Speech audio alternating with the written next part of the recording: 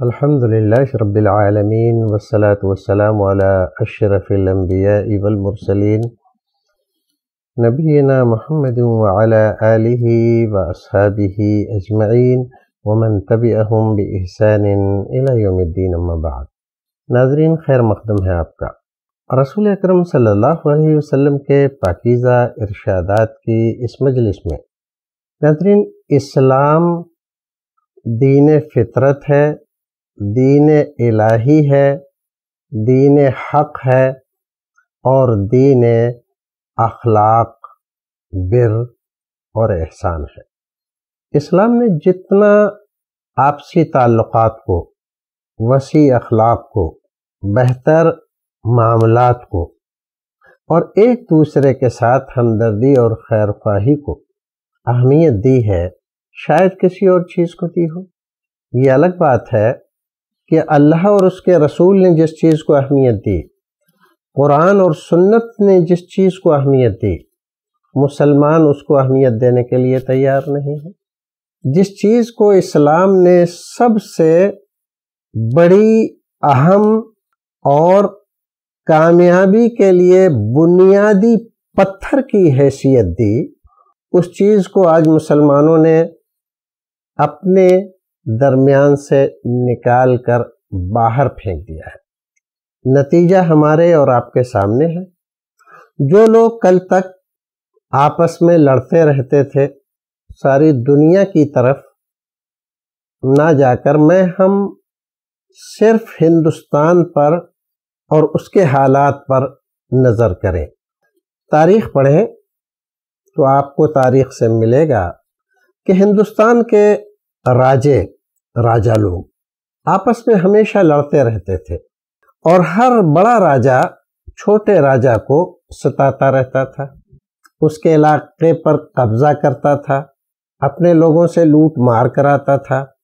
حد تو یہ ہے کہ اگر کوئی راجا اپنی بیٹی کی شادی کرا رہا ہے، تو آئین منڈپ سے دوسرا راجا اس کی بیٹی کو اپہرن کرا لیتا تھا، اٹھوا لیتا تھا، اغوا کرا لیتا تھا اور زبردستی اس کو اپنے حرم میں داخل کر لیتا تھا۔ یہ ایک واقعہ نہیں ہے، واقعات کا ایک سلسلہ ہے۔ جب یہ انتہا کو پہنچی صورت حال اور لوگ ان اتیاچاروں سے بالکل نڈھال ہو گئے اور کوئی صورت نظر نہیں آئی کہ اس پر کیسے کنٹرول کیا جائے۔ تو کچھ راجاؤں نے باہر کے راجاؤں سے سمپرک کیا۔ اور اس طرح اس ہندوستان میں باہر کے راجا آئے۔ کسی راجا کے بلانے پر، اس کے آشواسن دینے پر، فوجی اخراجات برداشت کرنے پر ایک معاہدہ ہوا اور اس معاہدے کے بعد وہ آئے اور آ کر انہوں نے یہاں پر کسی ایک راجا کے خلاف سنگھرش کیا، جنگ کی، اس کو ہرایا۔ تو ہمیشہ کا قاعدہ ہے، ہر قوم کا مسلمانوں کے ساتھ اس کی کوئی خصوصیت نہیں ہے کہ فاتح قوم مفتو قوم کے مال و اسباب پر قبضہ کر لیتی ہے۔ ان الملوک اذا دخلوا قرية افسدوها وجعلوا عزت اهلها اذلہ اس کا تعلق کسی دین سے نہیں ہے۔ یہ بادشاہوں کا ہمیشہ سے دستور ہے، ان کی ذہنیت ہے۔ وہ ہمیشہ یہی کرتے تو مسلمانوں نے بھی یہی کیا۔ یہاں تک کہ پھر یہ سلسلہ دراز ہوا۔ تو ہمارے پڑوسی ملک افغانستان سے متعدد راجا بادشاہ۔ یہ الگ بات ہے کہ وہ مسلمان تھے۔ اگر وہاں مسلمان نہ ہوتے اور اتنے ہی پاورفل ہوتے، عیسائی بستے ہوتے، تو کیا وہ عیسائی نہیں آتے؟ عیسائی آتے۔ یہودی ہوتے تو کیا یہودی منع کر دیتے؟ نہیں، وہ بھی منع نہیں کرتے۔ مان لیجیے، یہاں کوئی اور قوم بستی ہوتی اور ہندو ہوتے افغانستان میں۔ اور وہاں کا راجا اتنا پاورفل ہوتا کہ یہاں کے راجا کو کسی وقت بھی سزا دے سکتا ہے۔ تو اس کے اتیاچار اور ظلم و زیادتی کے خلاف وہ آ کر اس کو سزا دیتا۔ اس کا دین سے کوئی لینا دینا نہیں مذہب سے کوئی لینا دینا نہیں۔ یہ چیزیں ایسی ہیں جو ہمیشہ سے چلی آ رہی ہیں اور جاری رہیں گی۔ حالات تھوڑے دنوں کے لیے کچھ الگ قسم کے ہو جائیں، الگ بات ہے۔ بہرحال کہنے کا مطلب یہ تھا کہ اسلام نے سماج کو بنانے، سماج کو بہتر خطوط پر استوار کرنے، اخلاقیات پر ان کو پروان چڑھانے اور ایک دوسرے کا احترام، عزت، محبت، اخوت، بھائی چارگی، ان تمام چیزوں پر سماج کو بنانے کی تلقین کس نے کی ہے؟ اسلام نے۔ آج مسلمانوں نے وہ چیز چھوڑ دی۔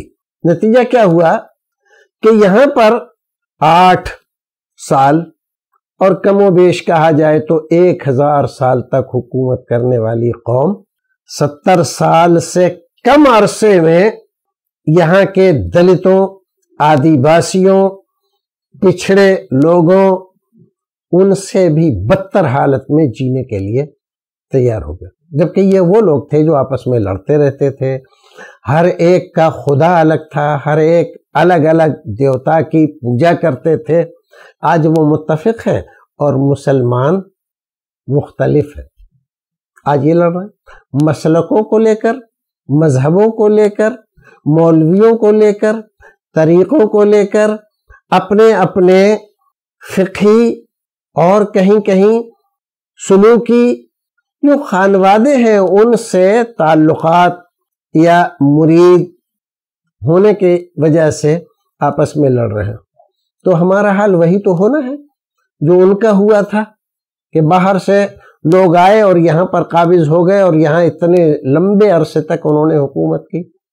جب ہم آپس میں ایک دوسرے کا احترام کرنا سیکھ جائیں گے، ایک دوسرے کو بھائی سمجھنے لگیں گے، دوسرے کو ہم ماننے لگیں گے، اس کے دکھ درد کو اپنا دکھ درد سمجھیں گے تو ہماری حالت بھی بہتر ہو جائے گی۔ ابھی تو ان کی حالت بہتر ہے، کیونکہ انہوں نے اپنے سارے اختلافات مٹا دیے ہیں اور وہ آج ہمارے خلاف ایک راہ پر آ گئے ہیں۔ تو اتفاق ہی سب سے بڑا ذریعہ ہے طاقت کا، قوت کا۔ اللہ رب العزت ہمیں آپ کو نیک عمل کرنے کی توفیق عطا فرمائے۔ ہم اپنے اس پروگرام کے ذریعے آپ کو اسلامی اخلاقیات کی الگ الگ بنیادوں، شاخوں اور اس کے مسائل سے دوچار کرائیں گے۔